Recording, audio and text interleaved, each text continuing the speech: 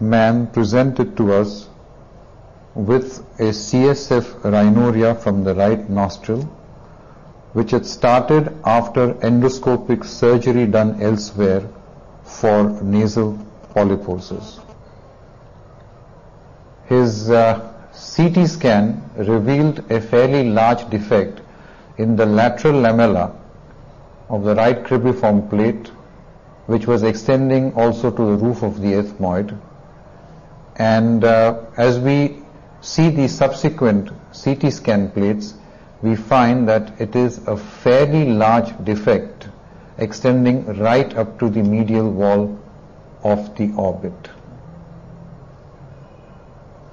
through which in CT cystoscopy you can see the dye leaking out into the nose.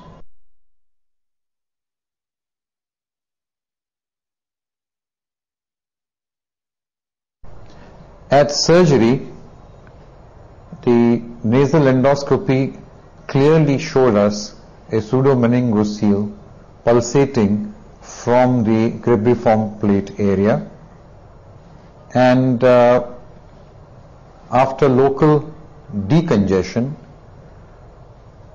with the help of saline adrenaline we removed the adhesions and the polypoid tissue in the anterior ethmoidal area to expose the pseudomeningocele and delineate the defect.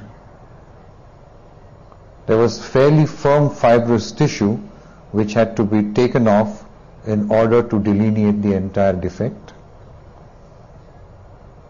And now we clearly see a fairly large meningocele projecting into the nasal cavity. You can see pulsating and you can see that the defect is extending from the cribriform plate to the roof of the ethmoid right up to the lamina papyracea area. Now we first covered the entire defect area without reducing the meningocele after ensuring that it was reducible because every time we reduced it it would pop back out. So we covered it completely with a piece of uh, with a piece of fascia lata. And then after having spread this piece to not only cover the defect but a fair margin on the surrounding skull base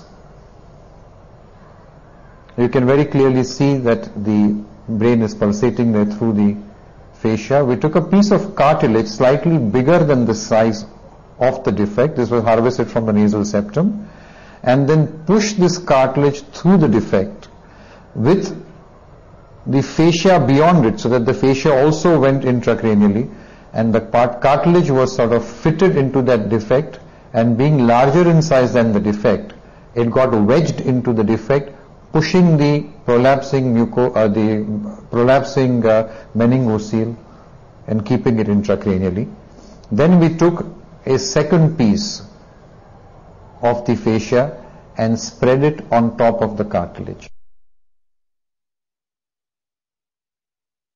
Having spread it out properly, we again took it off. You can see the cartilage in situ fitting against the skull base. Put some glue on that area. So we now had fascia which had gone intracranially, then cartilage fitting into the defect and a piece of fascia stuck on top of that.